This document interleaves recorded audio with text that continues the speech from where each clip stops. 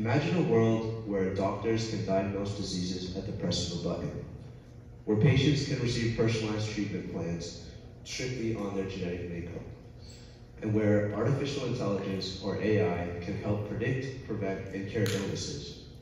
This isn't a science fiction scenario, but a reality that's unfolding right between our eyes.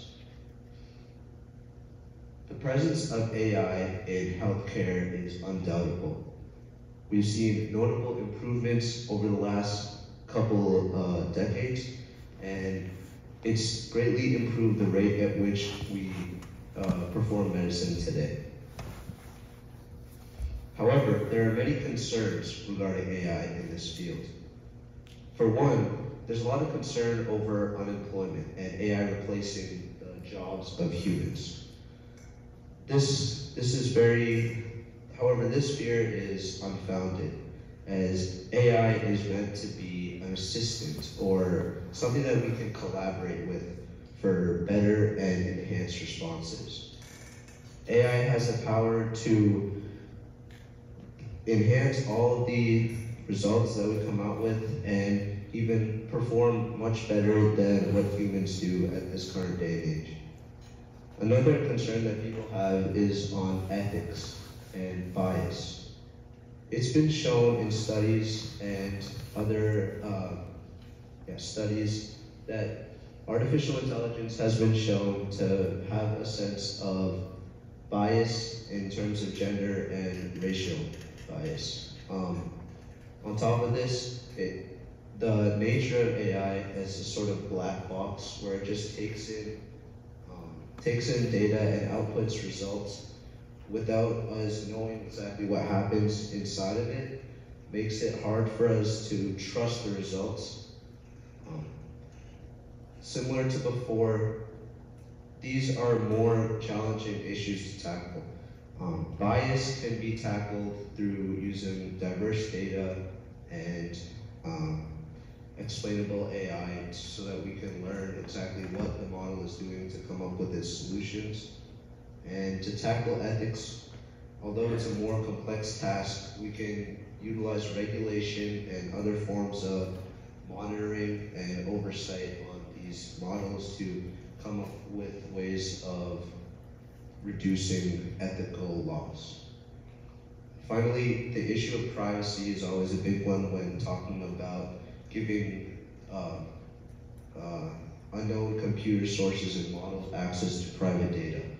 Um, in the wrong hands, if data is leaked, there's the potential that certain private and personal identification is available to the world.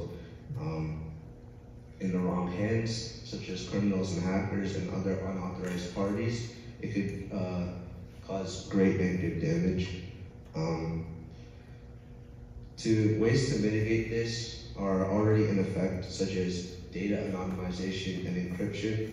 Um, data anonymization refers to removing personal identification from data and making it more accessible and public rather than linking it to persons. Um, and encryption refers to changing the meaning of certain ideas such as um, different data points in uh, health so that uh, when it's fed into models, the only way that it can be linked back to people and individuals is through a key that's given to a trustworthy individual.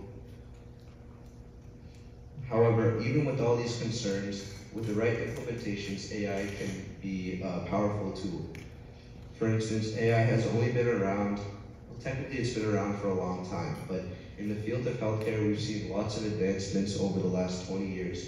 And during this time, we've seen an increase in the diagnosis rate of multiple diseases, including that of diabetes and diabetic retinopathy by over 50%, an, an increase in lung cancer uh, mortality rate a decrease in lung cancer mortality rate by 40% and a decrease in mortality rate of patients with sepsis by over 15%.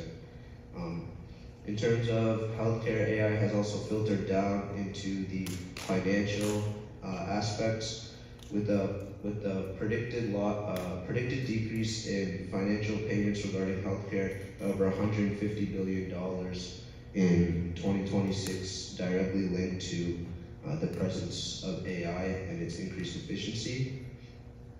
Uh, and finally, um, the presence of AI has also allowed for increased um, drug treatments uh, to be found more efficiently. Um, studies have shown that um, the time necessary to calculate the, the proper drug to, to treat a certain disease has been reduced by over 60%, and adverse drug events have been reduced by nearly 80% uh, due to the presence of AI models and the increased accuracy when compared to their human counterparts. Um, AI has also been seen in more day-to-day use. Um, for instance, in a majority of universities of higher education, medicinal students have been um, opened up to the use of utilizing um, AI bots to simulate patient, uh, patient and doctor collaborations where the AI bot simulates um, multiple different individuals um, and acts as different patients to give medicinal students a better understanding and more experience. This has been expanded into other learning experiences and even virtual reality.